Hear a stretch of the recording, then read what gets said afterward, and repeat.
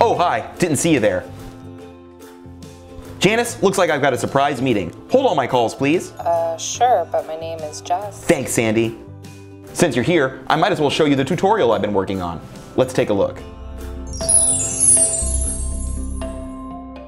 Today we're learning NVMS version 2 playback and backup. To be successful with this tutorial, your recorder must be set up for NVMS v2 already. A link to that guide can be found in the description. The first thing we're going to need to do, as usual, is open up the program. Once the program has finished loading, it's going to land us on the home page. Take a look at the record playback category. You'll see the options record playback and backup are on separate pages, so we'll have to go to each one individually. Let's start with playback. From the playback page, you'll see a four square grid of windows. These are the footage windows. Selecting a different square will highlight that one blue. We'll select the first one as this is where we want our footage to appear.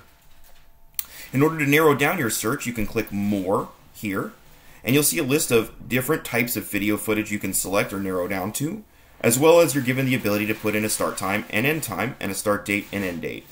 Your limit for the search window is 24 hours, though you can search as far back as you have footage.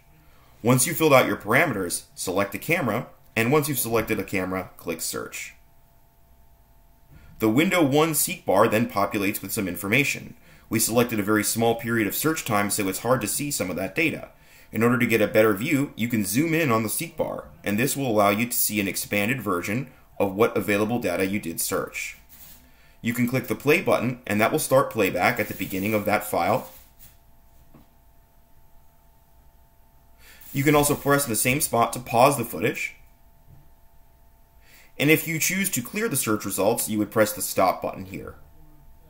That's pretty much it for playback. Why don't we go ahead and move on and we can show you how to get and back up your footage. The first thing you'll need to do is click home to get back to the main home page.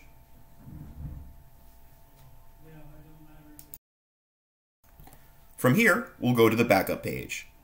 Once you land on the backup page, you'll notice four options at the tabs at the top, but leave the page on backup as this is the simplest and easiest way to get footage downloaded. Next, select a camera. Then select a calendar date to start from. Click search at the bottom to populate the seek bar with available footage from that day. Then we're going to want to check off mainstream to make sure we get the best quality footage for our download. And we're going to want to hit backup path over here. This will allow us to choose where on our computer the files download to. From there, when we're done, we're going to click Record Management at the top to go back to the previous page. We can then fill in a start time. We can also fill in an end time, and this narrows down our footage even further. Once these fields are completely filled out, you can click the backup button that you see there on the right, and this will populate the field below with information on the download. You can see the start time and end time you selected, the duration, as well as the download progress itself. Once it's finished, we will play the file back. Once you have the file downloaded, you should be able to drag it into your preferred media player and watch the file playback just fine. Check out the smooth, quality footage that we recorded here. Thanks again, guys, for joining us today on how to learn playback and backup for CBEL NVMS 2. Until next time, have a great one and stay safe.